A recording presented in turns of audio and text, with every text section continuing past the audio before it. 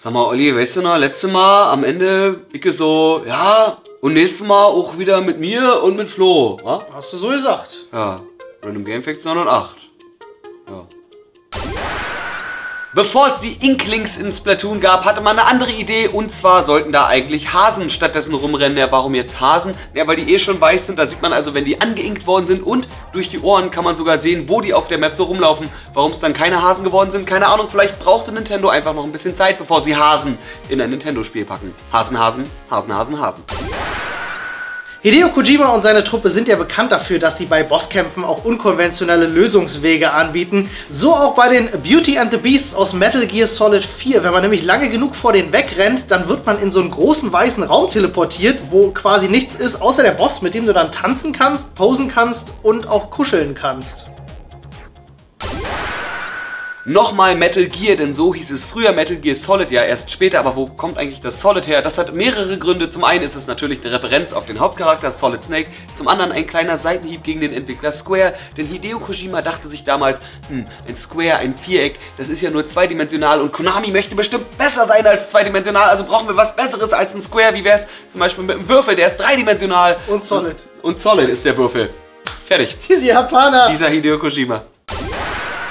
Ein jeder kennt ihn, alle lieben ihn, den Vault Boy aus Fallout. Aber wusstet ihr eigentlich, wem der nachempfunden ist? Nämlich Mr. Monopoly, Rich Uncle Pennybags, dem Urvater des Brettspielkapitalismus. Dessen Erfinder Leonard Bojarski arbeitete zwischenzeitlich übrigens bei Blizzard an Diablo 3 als Lead World Designer.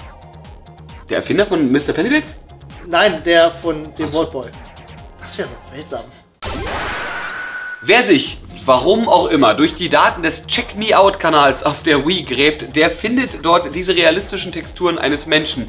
Was die da machen und was das soll, keine Ahnung. Was aber noch viel verwirrender ist, exakt dieselben Texturen findet man auch im Wii-Spiel Club Penguin Game Day.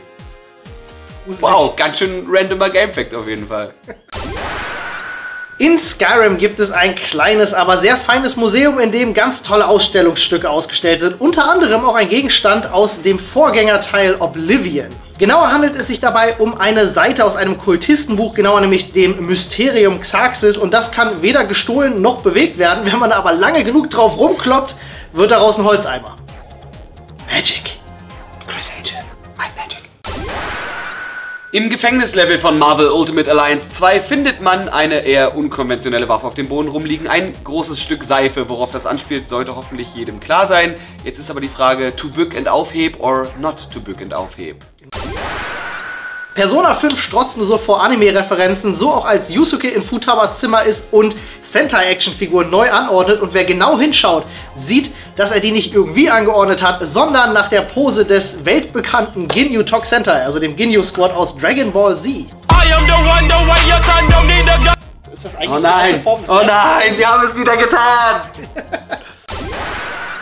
Wer Banjo-Kazooie für die N64 gespielt hat, erinnert sich eventuell an das ganze lustige Gebrabbel der Figuren und auch an Klungos Sprachfehler, aber das der Lispelt hätte man fast gar nicht mitbekommen, denn der ganze Worttext sollte eigentlich ganz anders dargestellt werden, nämlich in sogenannten Bubble Speak, also einfach so kleine Infografiken, kleine Piktogramme fast.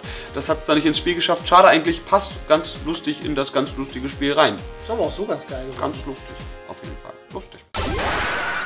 Spiele zu filmen sind eigentlich fast immer durch die Bank weg scheiße. Aber hättet ihr gewusst, welches das allererste Videospiel zu einem Film? Ja, welches? Ja, Raiders of the Lost Ark steht da, wusste ich aber auch so. Richtig. Aus dem Hause Atari ist übrigens fast zeitgleich erschienen mit E.T., was dann quasi so den Untergang der ganzen Filmversoftungen von Atari äh, verursacht hat. Das Ding war tatsächlich so kacke, dass die 728.000 Kopien davon, unverkaufte Kopien, in New Mexico begraben haben. So kacke war das. So kacke. Was übrigens nicht kacke ist, dieser Kanal hier, den solltet ihr abonnieren.